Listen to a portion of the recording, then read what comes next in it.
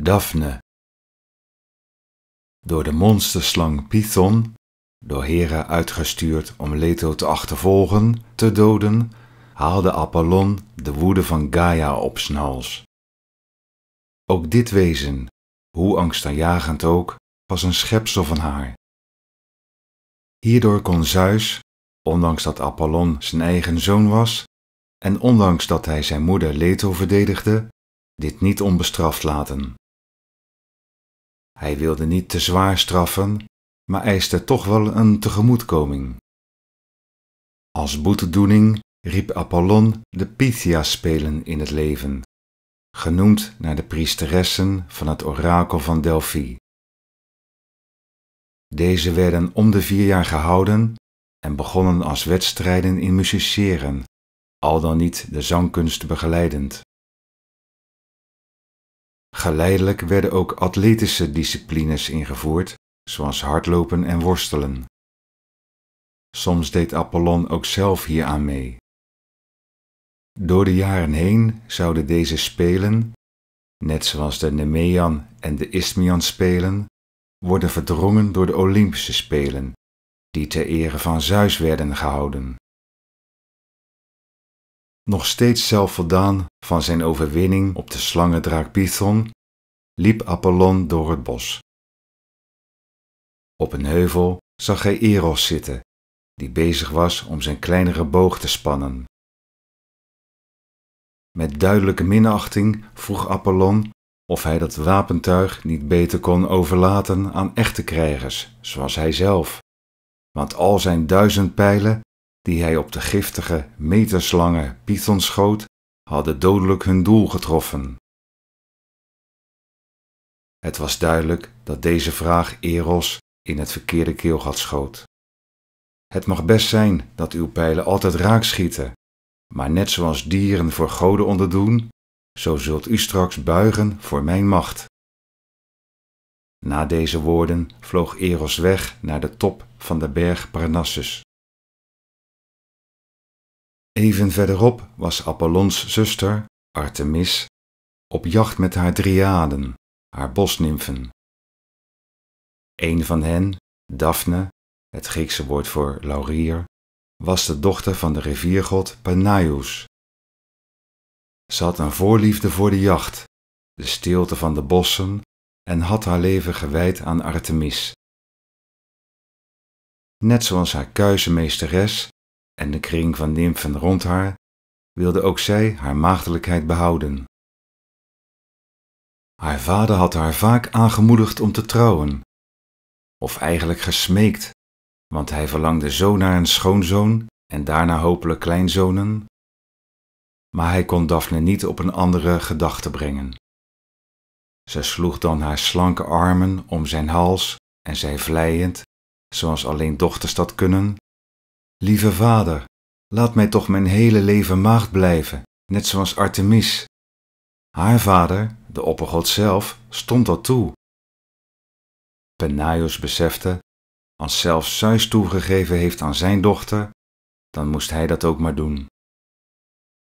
Maar de riviergod wist, omdat zijn dochter zo'n knap gezicht had en er tientallen jonge mannen achter haar aanzaten, dat dit wel goed zou komen. Althans, dat hoopte hij. Want het verhaal deed de ronde dat de mooie man, genaamd Lucipes, zo wanhopig achter haar aanzat, dat hij zichzelf vermomde als jonge vrouw, om zo, binnen de kring van nymfen, dichter bij haar te komen. Het lukte hem wonderwel om zo samen met Daphne te gaan jagen. Maar na deze jachtpartij ging het hele gezelschap naar de rivier Ladon om te baden. Dat was het laatste vrouwelijk naakt wat de arme aanbidder te zien kreeg, want hij werd ter plekke door talloze speren doorboord en aan stukken gescheurd. Duidelijk dat deze myriaden niets van mannen moesten hebben. Ze haalden hun geluk uit de toewijding aan Artemis en ook Daphne genoot van haar leven in het bos. Nog steeds zat Eros op de berg Parnassus te mokken over de opmerking van Apollon. De zoon van Afrodite keek toe hoe deze opschepper op zoek was naar zijn zuster Artemis, maar ook dat hij het pad van Daphne zou kruisen. Hij zag zijn kans zwaar, vloog snel omlaag en landde op een dichtstbijzijnde rotspunt. Hij haalde twee pijlen uit zijn koker. De een met een scherpe punt van puur goud die liefde opwekt. De ander met een botte punt van lood die alle liefde verdrijft. De pijl met de lodenpunt schoot er in het hart van Daphne. Zij was plots vervuld van aversie tegen alles wat met liefde te maken had. De pijl met de gouden punt schoot hij in het hart van Apollon. Deze werd terstond hevig verliefd op de blonde nimf. Zijn hart was vol van begeerte en verlangen naar haar, die niets van hem wilde weten. Hij verdronk in haar ogen, twinkelend als de sterren. Haar lippen, zo vol en bestemd om gekust te worden. Hij stond in vuur en vlam en wilde Daphne beminnen, waardoor deze in paniek op de vlucht sloeg. Apollon ging in volle vaart achter haar aan, maar Daphne, bekender met het terrein, vluchtte dieper het bos in, waardoor de god haar kwijtraakte. Tegen beter weten in bedroog hij zichzelf door zich in zijn eigen Delphi orakels te geven die valse hoop gaven. Hij zocht Daphne weer op. Waarom vlucht je voor mij, gelijk een lam voor de wolf? Haar zachte handen, haar slanke armen, haar ranke schouders, ach, stop met vluchten, straks bezeer je nog aan een steen of een scherpe doorn.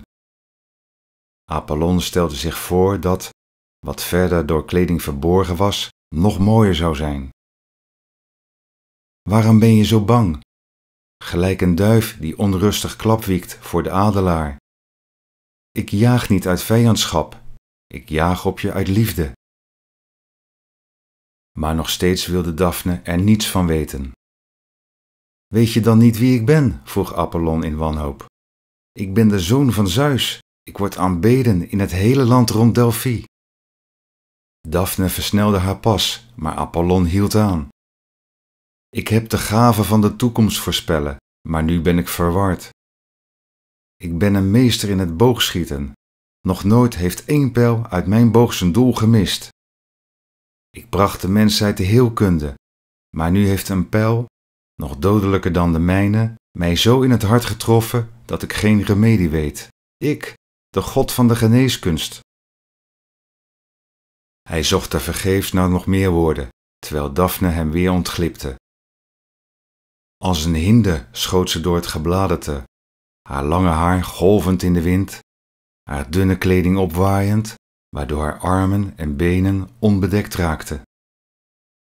Redeloos, maar nu extra aangedreven door zijn vlammend verlangen, kregen zij pas meer veerkracht. De verliefde achtervolger haalde zijn prooi in op vleugels van passie. Zo renden de god en de nimf uit liefde en uit angst. Hij kon haar bijna aanraken, zoals de hazenwindhond met zijn snuit bijna de achterpoten van de haas kan aantikken. Maar Daphne raakte uitgeput. Alle kracht verdween uit haar, en in wanhoop riep zij tot Gaia: Help mij, open uw aarde, zodat deze mij verzwelgt. En haar vader smeekte ze: Verlos mij van dit gedaante, dat mij alleen maar ongeluk heeft gebracht. Haar gebed werd verhoord. Haar ledematen verstijfden, haar huid veranderde in schors. Haar armen werden takken, haar blonde lokken twijgjes. Haar voeten kort daarvoor nog rennend door het bos, kreeg een wortel en verankerde zich in de grond. Maar zelfs als boom was zij een schoonheid en bleef voor de verliefde godenzoon onverminderd beminnelijk. Hij legde zijn hand op haar schors en kon haar kalmer wordende hartslag voelen. Hij kuste haar daar, waar zo even nog haar zachte wangen waren, en voelde met zijn lippen het harde worden van het hout. Apollon, die we ook kennen als Apollo, vouwde zijn armen rond haar takken en sprak verdrietig. Het is mij niet gegund dat jij mijn eerste liefde zal zijn. Maar ik blijf van je houden, en als boom zal je altijd de mijne zijn. Voor altijd zullen je twijgjes mijn lier, mijn boog en pijlenkoken sieren. De lauwe krans zal de ereprijs van mijn Piet Jan spelen zijn. Jij zal de hoofden van de Romeinse veldheren tooien, als zij na de overwinning zegevierend in hun strijdwagens Rome binnenrijden. En net zoals mijn immer wilderige lokken omkrans zullen zijn door jouw bladeren, zo zullen jouw takken nooit hun blad verliezen en zul je voor altijd schitterend groen zijn. Haar takken bewogen iets, en toen de kruin van de laurierboom iets naar voren boog, leek het alsof Daphne ja knikte.